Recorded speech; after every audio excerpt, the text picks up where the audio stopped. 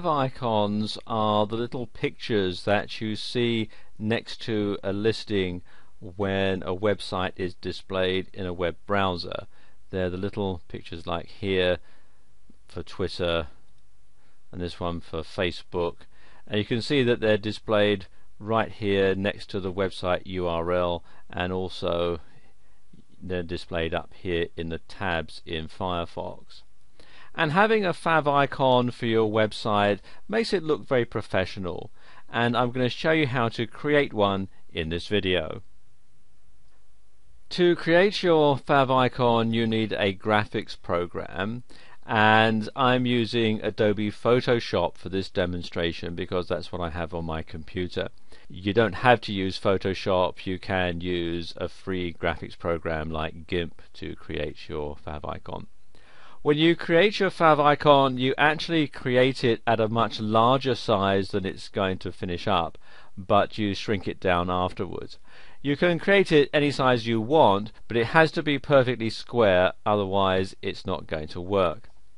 Okay, I'm going to create a new file, so create new, and I'm going to have my fav icon 100 pixels by 100 pixels and with a resolution of 72 pixels per square inch. And I'm going to have the background contents the background color. Let's uh, click on OK. I'm just going to drag that out a bit so you can see better. Now the thing about a favicon, because they are really small, you need to have quite a bold design, something that is going to be readily apparent as soon as somebody looks at it. You don't want to have anything too fancy because when it gets shrunk down to the small icon file, you're going to lose a lot of the detail.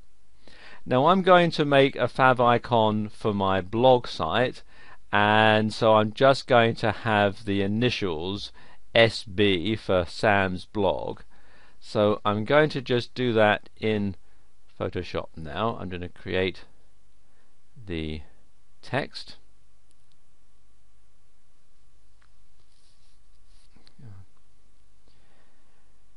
And you also want to have a fairly simple typeface if you're going to have text. So I'm going to use a Windows standard font. For this I'm going to use Arial and just type my initials in. And I'll duplicate that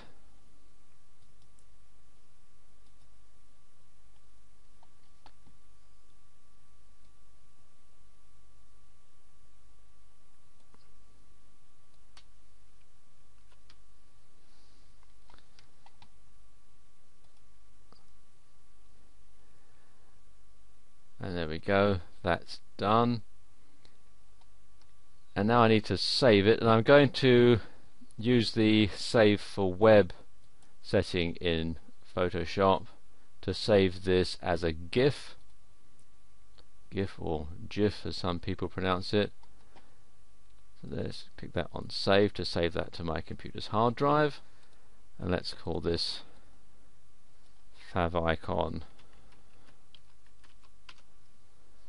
favicon .gif. And there we are. That's now saved. Now I'm going to use a free favicon generator which you can find at this website here favicongenerator.com and that will shrink my favicon file down to the correct size and put it into the correct format. Okay so I need to upload that from my computer's hard drive so click on browse. And here's the one we want favicon.gif so click on open. And then click here to generate the favicon. And there we are. There's my favicon generated so now I have to click here to download it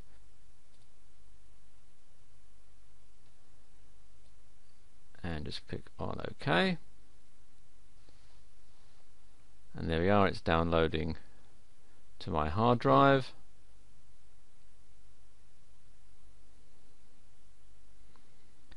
And there we are that's done.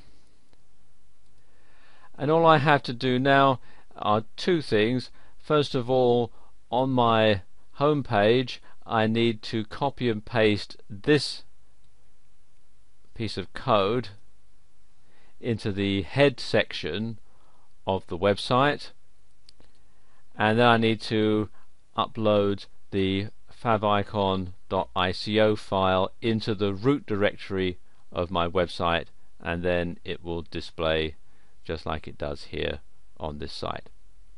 So there you go, that's how you can create a favicon for your website.